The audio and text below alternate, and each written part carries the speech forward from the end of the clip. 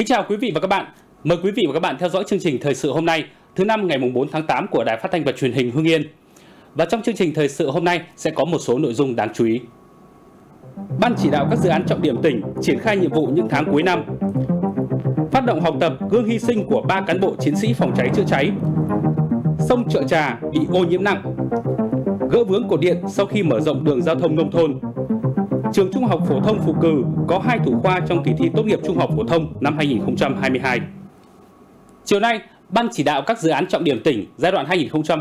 2021-2025 đã tổ chức họp nhận xét, đánh giá, ra soát kết quả thực hiện tại một số dự án trọng điểm của tỉnh đến hết tháng 7 năm 2022. Đồng chí Nguyễn Hữu Nghĩa, Ủy viên Ban chấp hành Trung ương Đảng, Bí thư tỉnh ủy, trưởng ban chỉ đạo chủ trì cuộc họp. Dự cuộc họp có các đồng chí Trần Quốc Toản, Phó Bí thư Thường trực tỉnh ủy, Chủ tịch Hội đồng Nhân dân tỉnh, Trần Quốc Văn, Phó Bí thư tỉnh ủy, Chủ tịch Ủy ban Nhân dân tỉnh,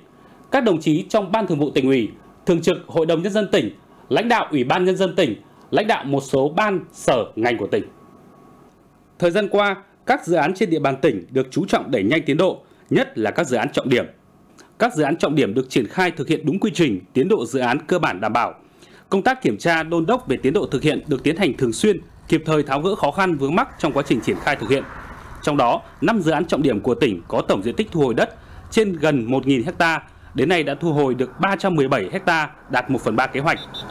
Bên cạnh đó, các dự án còn lại là dự án đầu tư xây dựng và kinh doanh kết cấu hạ tầng khu công nghiệp số 3, dự án đầu tư xây dựng và kinh doanh kết cấu hạ tầng khu công nghiệp Thăng Long 2 mở rộng giai đoạn 3, dự án đầu tư xây dựng và kinh doanh hạ tầng khu công nghiệp Yên Mỹ và dự án đường Tân Phúc, Võng Phan, tiến độ giải phóng mặt bằng còn chậm. Tại hội nghị, các đại biểu đã tiến hành thảo luận, nêu các ý kiến nhằm tháo gỡ những vướng mắc trong công tác đền bù, giải phóng mặt bằng của dự án trọng điểm trên địa bàn tỉnh. Phát biểu tại hội nghị, Chủ tịch Ủy ban nhân dân tỉnh Trần Quốc Văn đề nghị các thành viên trong ban chỉ đạo tỉnh, các đồng chí ủy viên ban thường vụ phụ trách các địa phương cần vào cuộc quyết liệt hơn nữa để lãnh đạo, chỉ đạo, đôn đốc các địa phương đẩy nhanh tiến độ triển khai theo các bước quy định. Chủ tịch Ủy ban nhân dân tỉnh cho biết tỉnh sẽ hỗ trợ thi công để các dự án triển khai thuận lợi, Bên cạnh đó sẽ xem xét đưa thêm một số dự án khác trở thành dự án trọng điểm của tỉnh để đẩy nhanh tiến độ thi công. Cái thứ nhất là các đồng chí trong ban đồng bộ, thì các đồng chí phụ trách trên cái địa bàn thì cần phải cần phải vào cuộc quyết liệt hơn nữa. Trên cơ sở cái báo cáo ngày hôm nay, thì các đồng chí nắm được cái địa bàn nào là thuộc địa bàn của mình, thì về tiếp tục chỉ đạo các nội dung còn khó khăn vướng mắc tỉnh thì có hàng trăm cái dự án nhưng mới đây thì chỉ có một số các dự án trọng điểm thôi. Tôi cũng đề nghị sau đây thì mình có thể đưa thêm một số các dự án trọng điểm khác. Đây ta thể hiện một ý chí quyết tâm về công tác giải phóng bằng. Đây là một cái điểm nghẽn mà nút thắt mà các đồng chí trước đây trong cả nghị quyết để trong cả chủ trương ý quyết đại hội rồi chương trình hành động, kế hoạch, tổ chức thực hiện đều xác định là là nút thắt thì ta phải giải quyết cái nút thắt. Đó là cái công tác giải phóng mặt bằng mà ban thường vụ ta đã có chỉ thị. Xong có chỉ thị rồi thành ban chỉ đạo để thực hiện những cái chỉ thị này. Đồng chí Nguyễn Hữu Nghĩa, Bí thư tỉnh ủy, trưởng ban chỉ đạo ghi nhận sự cố gắng của các thành viên ban chỉ đạo trong thực hiện nhiệm vụ. Bên cạnh đó, đồng chí cũng chỉ ra một số hạn chế như tiến độ một số dự án còn chậm, việc đôn đốc các thành viên của ban chỉ đạo đôi khi chưa kịp thời, công tác tuyên truyền vận động nhân dân chưa có sự đồng bộ giữa các địa phương. Trên cơ sở những hạn chế đã chỉ ra, đồng chí Bí thư tỉnh ủy đề nghị để đạt được mục tiêu là khoảng 1.000 hecta trong năm nay được giải phóng mặt bằng cho các dự án trọng điểm, ờ, đặc biệt là các khu công nghiệp thì chúng ta cần phải nỗ lực hơn nữa rất nhiều. Đã xác định là dự án trọng điểm thì cả hệ thống chính trị vào cuộc, làm quyết liệt, làm đồng bộ, làm đồng loạt. Dự án có đến đâu là triển khai giải phóng mặt bằng đến đấy. Có mặt bằng rồi là tiến hành bàn giao cho thuê đất ngay, khuyến khích động viên các chủ đầu tư ở các cái khu công nghiệp là họ sớm khởi công để triển khai các dự án để chúng ta có cái mặt bằng sạch để tiếp nhận các cái dự án đầu tư để tạo ra cái nguồn thu uh, nộp cho ngân sách nhà nước. Sáng nay tại Hà Nội, đồng chí Phạm Bình Minh, Ủy viên Bộ Chính trị, Phó Thủ tướng Thường trực Chính phủ, trưởng Ban chỉ đạo quốc gia chống buôn lậu, gian lận thương mại và hàng giả, Ban chỉ đạo 389 quốc gia, chủ trì hội nghị trực tuyến sơ kết công tác 6 tháng đầu năm và phương hướng nhiệm vụ trọng tâm trong thời gian tới. Dự hội nghị tại điểm cầu tỉnh Hưng Yên có đồng chí Nguyễn Hùng Nam, Phó Chủ tịch Ủy ban nhân dân tỉnh 6 tháng đầu năm 2022, Ban chỉ đạo 389 các bộ ngành thống kê kết quả của lực lượng chức năng cả nước phát hiện xử lý hơn 54.000 vụ việc vi phạm, giảm 25% so với cùng kỳ năm 2021. Tại Hưng Yên, 6 tháng đầu năm đã phát hiện trên 550 vụ vi phạm, tăng gần 200 vụ, tương đương gần 50% so với 6 tháng đầu năm 2021. Trong đó khởi tố điều tra 26 vụ, 31 bị can, xử lý vi phạm hành chính 532 vụ, nộp ngân sách nhà nước hơn 12 tỷ đồng. Kết luận hội nghị, Phó Thủ tướng Thường trực Chính phủ Phạm Bình Minh yêu cầu Ban chỉ đạo 389 quốc gia, Ban chỉ đạo các bộ ngành thành viên, Ban chỉ đạo địa phương và các lực lượng chức năng cần nhận diện chính xác các phương thức, thủ đoạn buôn lậu, gian lận thương mại và hàng giả, tích cực phối hợp chia sẻ thông tin về nội dung liên quan đến vi phạm buôn lậu, gian lận thương mại và hàng giả, đẩy mạnh xây dựng kế hoạch phù hợp với tình hình mới để ngăn chặn kịp thời vụ việc vi phạm buôn lậu, gian lận thương mại và hàng giả, tăng cường công tác truyền thông để vận động người dân tố giác tội phạm, nói không với sử dụng các hàng hóa không rõ nguồn gốc, tăng cường kiểm soát hàng hóa ở biên giới, đặc biệt là dịp cuối năm. Thưa quý vị và các bạn,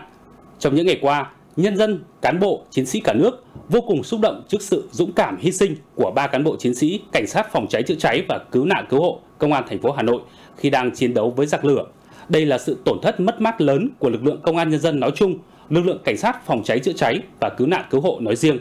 Sáng nay, Công an tỉnh Hưng Yên phát động học tập gương anh dũng hy sinh, cống hiến trọn đời vì sự nghiệp cao cả, bảo vệ Tổ quốc, bảo vệ nhân dân của ba liệt sĩ công an nhân dân trong toàn lực lượng. Dự lễ phát động có Đại tá Nguyễn Thanh Trường, Ủy viên Ban Thường vụ tỉnh ủy, Giám đốc Công an tỉnh.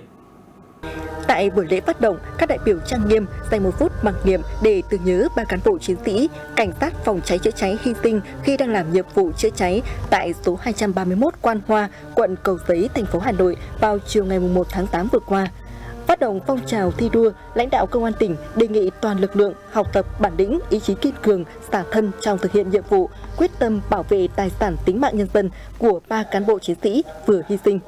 đồng thời kêu gọi các tầng lớp nhân dân, tổ chức chính trị xã hội nâng cao cảnh giác, chủ động phòng chống cháy nổ. Công an các đơn vị địa phương tiếp tục đẩy mạnh tuyên truyền, hướng dẫn diễn tập phòng cháy chữa cháy, tăng cường kiểm tra, giả soát các cơ sở có nguy cơ cháy nổ cao trên địa bàn. Tại buổi phát động thi đua, Công an tỉnh Hưng Yên cũng tổ chức quyên góp ủng hộ, chia sẻ đau thương mất mát với thân nhân của ba cán bộ chiến sĩ vừa hy sinh. Sáng nay, Khối thi đua văn hóa xã hội đã tổ chức hội nghị sơ kết công tác thi đua khen thưởng 6 tháng đầu năm, triển khai nhiệm vụ 6 tháng cuối năm 2022. 6 tháng đầu năm, các đơn vị trong khối đã quán triệt các văn bản chỉ đạo về thi đua khen thưởng, đồng thời bám sát các văn bản kế hoạch của tỉnh, tổ chức triển khai tốt nhiệm vụ chính trị và đạt kết quả khá toàn diện trên các lĩnh vực, tập trung phát động các phong trào thi đua, đăng ký điển hình tiên tiến, mô hình hay, cách làm sáng tạo của khối, qua các đợt phong trào đã kịp thời phát hiện bồi dưỡng nhân rộng, biểu dương các điển hình tiên tiến tập thể cá nhân có thành tích xuất sắc, tạo sức mạnh, khí thế, sôi nổi trong đội ngũ công chức viên chức người lao động, từ đó góp phần thúc đẩy phong trào thi đua của khối. Từ nay đến cuối năm, các sở thành viên trong khối phấn đấu hoàn thành xuất sắc các chỉ tiêu, kế hoạch năm 2022 tiếp tục đẩy mạnh hơn nữa công tác cải cách hành chính trong các lĩnh vực thuộc chức năng nhiệm vụ của từng đơn vị, góp phần thực hiện thắng lợi nhiệm vụ phát triển kinh tế xã hội của tỉnh. Ủy ban Nhân dân huyện Kim Động vừa tổ chức công bố đồ án quy hoạch chi tiết xây dựng tỷ lệ 1 trên 500 đối với cụm công nghiệp Kim Động và cụm công nghiệp Chính Nghĩa. Cụm công nghiệp chính nghĩa và kim động trên địa bàn huyện được Ủy ban Nhân dân tỉnh phê duyệt quy hoạch chi tiết xây dựng tỷ lệ 1 trên 500, có tổng diện tích khoảng 150 ha, nằm trên địa giới hành chính của ba xã Chính Nghĩa, Nhân La và Phạm Ngũ Lão. Ngoài ra, có một số diện tích của ba xã trên nằm trong quy hoạch cụm công nghiệp Đặng Lễ, huyện Ân Thi. Các cụm công nghiệp tập trung thu hút các dự án đầu tư theo các ngành nghề sản xuất công nghiệp công nghệ cao, công nghiệp hỗ trợ ngành điện tử, ô tô và các dự án sử dụng tiết kiệm năng lượng công nghệ sạch, không gây ô nhiễm môi trường. Dự án sau khi được hình thành sẽ tạo điều kiện đáp ứng nhu cầu đầu tư phát triển sản xuất công nghiệp trong tỉnh. Không chỉ tạo việc làm, tăng thu ngân sách địa phương mà còn là động lực chủ đạo trong việc phát triển đô thị vùng phụ cận, góp phần vào quá trình đô thị hóa của huyện Kim Động. Nhiều năm trở lại đây, hàng trăm hộ dân ở xã Hồng Nam, thành phố Hưng Yên phải sống trong tình trạng bất an, lo lắng do dòng sông Chợ Trà qua địa bàn bị ô nhiễm nặng, ảnh hưởng nghiêm trọng tới cuộc sống và sinh hoạt của nhân dân. Có nhà to đẹp nhưng không thể ở mà nhiều năm nay gia đình ông Bùi Văn Bằng phải chuyển về ngôi nhà thờ phía sau do không chịu nổi mùi hôi thối và ruồi muỗi từ dòng sông chợ trà gây nên. Các cái nước phân lợn, nước thải của làm nghề bún đậu là chảy hết toàn bộ ra cái dòng sông này. Trẻ con người già là tất cả đều phải là sơ tán quẫy nó rất chi là nhiều, không thể ở được. Phải sơ tán đi chỗ lọ, sơ tán đi chỗ kia chứ chứ không dám ở nhà. Dù ở gần cuối nguồn nhưng gia đình ông Đặng Văn Liên cũng phải sống trong tình trạng bất an do ô nhiễm môi trường của sông Chợ Trà bị ô nhiễm. Để khắc phục tình trạng trên, gia đình phải đóng kín cửa cả ngày lẫn đêm và phải tìm đủ mọi cách để diệt muỗi. Từ đây ờ, chạy suốt cái khu xã Hồng Nam từ thôn Điện Biên này lên đến ờ, thôn Đế Châu là ảnh hưởng nhiều nhất với một số bên Tân Hưng này cực kỳ và ô nhiễm mùi thối lùng lồng lực muỗi cứ tuần là cứ phải ờ, phun một lần ấy. Sông Chợ Trà chảy qua địa phận xã Hồng Nam, Tân Hưng có nhiệm vụ tiêu thoát và cung cấp tưới và tiêu phục vụ sản xuất nông nghiệp. Nhưng nhiều năm nay, sông đã đổi màu đen kịt và bốc mùi rất khó chịu. Nguyên nhân là do nước thải của làng nghề bún và nước thải chăn nuôi của nhiều hộ dân thôn Viên Tiêu, xã Tân Hưng thải ra làm cho dòng sông này ngày càng đổi màu ô nhiễm. Theo chính quyền xã Hồng Nam, sông Chợ Trà, đoạn qua địa bàn đã ô nhiễm từ nhiều năm nay. Mặc dù năm 2021 đã được nạo vét, làm kè mới, nhưng tình trạng ô nhiễm không hề thuyên giảm mà ngày càng trở nên nghiêm trọng hơn. Dòng sông ô nhiễm bây giờ là quá nặng, những cái lúc nóng lên là không thể chịu nổi. Chúng tôi ở cấp thôn là chúng tôi cũng đã có ý kiến rất nhiều với các cấp trong những các cái buổi sinh hoạt chi bộ tỉnh về dự mà hiện tại bây giờ đây cái dòng chảy từ nàng nghề tân đứng chảy sang thì nó vẫn chảy khắc phục cái tình trạng này thì chưa khắc phục được giữa chính quyền hai địa phương chúng tôi đã kiến nghị đề xuất lên các cấp có thẩm quyền để xem xét và giải quyết. Tình trạng ô nhiễm trên hiện vẫn chưa được cải thiện. Để nhân dân ổn định cuộc sống và để dòng sông tồn tại theo đúng nghĩa phục vụ sản xuất nông nghiệp dân sinh, chính quyền địa phương cần có giải pháp xử lý triệt để tình trạng ô nhiễm trên, đồng thời áp dụng chế tài xử lý nghiêm các trường hợp xả thẳng nước thải chưa qua xử lý ra môi trường. Thưa quý vị và các bạn, hiện nay có nhiều địa phương khi mở rộng làm đường giao thông nông thôn, xây dựng nông thôn mới đã xảy ra tình trạng cột điện vốn ở ven đường ra sát lòng đường gây mất an toàn giao thông. Để gỡ vướng chuyện cột điện giữa lòng đường, mời quý vị và các bạn theo dõi phóng sự sau. Đây là hình ảnh hàng cột điện chạy dọc đường trục xã Phương Triểu, thành phố Hưng Yên. Toàn tuyến có chiều dài khoảng 1,5 km với khoảng 80 cột điện như thế này. Đã 5 năm kể từ khi đường làm xong, trên tuyến đã xảy ra nhiều vụ tai nạn. Cái cột ở trên chỗ à, Đình Thượng thì cái cột nó nằm dưới đường nhưng có một vài lần bị tai nạn giao thông. Nhưng nói chung nó không xảy ra chết người nhưng mà nó rất là gây phiền hà nhân dân. Xã Phương Triều được công nhận nông thôn mới năm 2017, cũng từng ấy năm hàng cột điện nằm in trên đường. Năm 2020, xã Ngọc Thanh huyện Kim Động đã được công nhận xã nông thôn mới nâng cao. Thế nhưng chuyện cột điện ra giữa đường cũng vẫn diễn ra như thế này. Cũng đề nghị các cấp chính quyền à, làm sao mà giúp đỡ dân chúng tôi là dồn được cái cột điện xê dích được nó lùi vào. Không riêng gì xã Ngọc Thanh, mà còn nhiều nơi trên địa bàn các xã trong huyện, cũng như trong tỉnh, là có những cái cột điện nằm ở trên đường. Thì Ngọc Thanh là một trong những xã chưa thực hiện xong cái dự án 3 hecta để cấp đất giãn dân và trong thời gian tới khi thực hiện xong dự án thì lãnh đạo địa phương, chúng tôi sẽ có kế hoạch, có những cái gói để chuyển hàng cột điện ra Việc đầu tư xây dựng giao thông nông thôn ngoài nguồn ngân sách cấp trên hỗ trợ đầu tư thì trách nhiệm cấp xã là chính. Nguyên nhân là Ủy ban nhân dân xã Ngọc Thanh làm chủ đầu tư các dự án nâng cấp đường giao thông nông thôn tại địa phương nhưng khi xây dựng hồ sơ dự án lại không đưa nguồn kinh phí giải phóng mặt bằng di rời cột điện cũ. Ngành điện chúng tôi cũng có giải pháp là hỗ trợ cho địa phương. Thứ nhất là chi phí giám sát, chi phí nghiệm thu và chi phí cắt điện đấu nối để địa phương thực hiện di chuyển. Trong quá trình thực hiện đầu tư cải tạo lưới điện thì nguồn vốn có hạn, do vậy thì cái việc ờ, cải tạo thì chúng tôi đành phải ưu tiên những khu vực có nguy cơ mất an toàn thì cải tạo để đảm bảo chất lượng điện tốt hơn phục vụ cho nhân dân. Được biết hiện ngành điện Hưng Yên đang quản lý lưới điện nông thôn gồm 6.800 km đường dây hạ thế và 450.000 công tơ điện việc ưu tiên các hạng mục trong sửa chữa nâng cấp và xây mới, một dự án luôn được công ty xem xét kỹ lưỡng trên cơ sở tính cấp bách về kế hoạch vốn cũng được Tổng Công ty Điện lực miền Bắc duyệt. Thưa quý vị và các bạn, những sự việc trên chưa phản ánh hết tình trạng cột điện giữa đường ở nhiều địa phương. Hy vọng trong thời gian tới các địa phương sẽ có những giải pháp để xử lý triệt đề vấn đề trên, góp phần xây dựng nông thôn mới kiểu mẫu, văn minh. Sau khi Bộ Giáo dục và Đào tạo công bố kết quả thi tốt nghiệp trung học phổ thông năm 2022, chân dung thủ khoa của các khối thi đã chính thức được lộ diện. Trường Trung học phổ thông Phù Cử có hai học sinh trở thành thủ khoa của tỉnh và đứng top 10 của cả nước. Đó là em Nguyễn Nhật Minh và em Nguyễn Mạnh Chuẩn, đều là học sinh lớp 12A1, trường Trung học phổ thông Phù Cử. Em Nguyễn Nhật Minh đã đạt 29,55 điểm ở khối A và 28,2 điểm ở khối A1, trở thành thủ khoa khối A của tỉnh và đứng trong top 10 toàn quốc. Em Nguyễn Mạnh Chuẩn đạt 28,6 điểm ở khối B và đạt 28,1 điểm ở khối A, trở thành thủ khoa khối B của tỉnh. Ngoài ra trường Trung học phổ thông Phù Cử còn có nhiều học sinh đạt điểm khá cao ở các khối thi như em Nguyễn Quang Anh lớp 12A2 đạt 28 điểm khối C, em Nguyễn Tú Linh lớp 12A1 đạt 27,35 điểm khối D.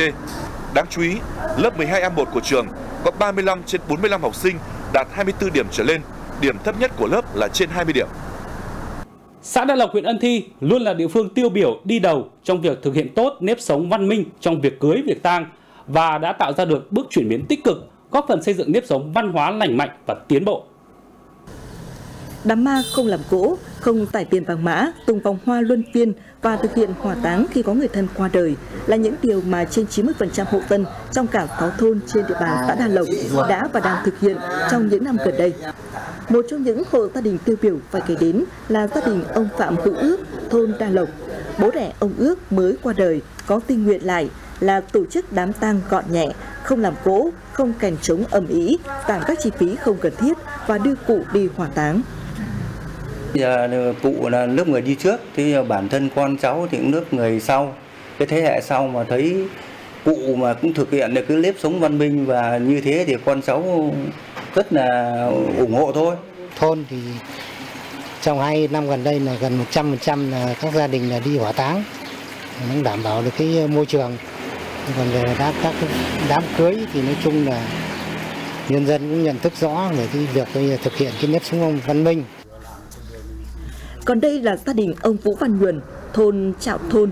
Ông vừa mới tổ chức đám cưới cho con trai, nhận thức được những lợi ích như sự tiến bộ văn minh của việc tổ chức đám cưới theo nếp sống mới, nên con trai ông Nhuần đã vận động gia đình tổ chức đám cưới cho mình theo hình thức tiệc ngọt, bánh kẹo gọn nhẹ và không sử dụng thuốc lá.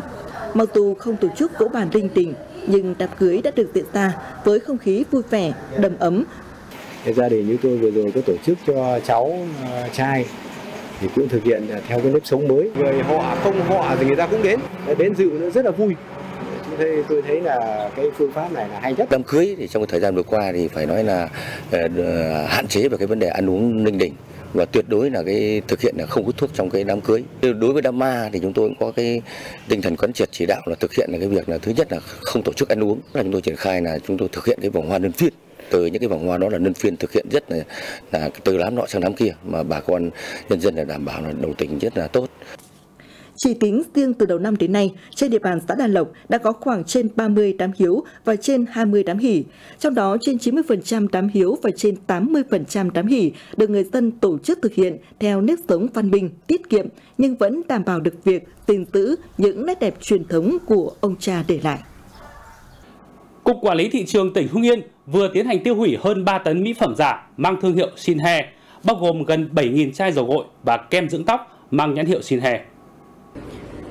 Đây là lô hàng thuộc sở hữu của ông Phạm Xuân Hoàng, có hộ khẩu thường trú tại Kim Lũ, xã Phụ Ủng, huyện Ân Thi. Trước đó, đội quản lý thị trường số 3 của quản lý thị trường tỉnh Hưng Yên đã phối hợp với công an xã Phổ Ủng và công an huyện Ân Thi tiến hành kiểm tra đột xuất kho hàng này. Tại thời điểm kiểm tra, chủ kho hàng là ông Phạm Xuân Hoàng không thể xuất trình giấy tờ chứng minh nguồn gốc của lô hàng mang thương hiệu Sinhe. Quá trình tiêu hủy được thực hiện đúng quy định và chôn lấp bảo đảm vệ sinh môi trường. Quý vị và các bạn có thể xem lại chương trình trên các nền tảng số của Đài Phát thanh và Truyền hình Hưng Yên như ứng dụng Hưng Yên TV Go trên website hưng-yên-tv.vn, trang fanpage tin tức Hưng Yên 24 trên 7 HITV hoặc kênh YouTube truyền hình Hưng Yên HITV.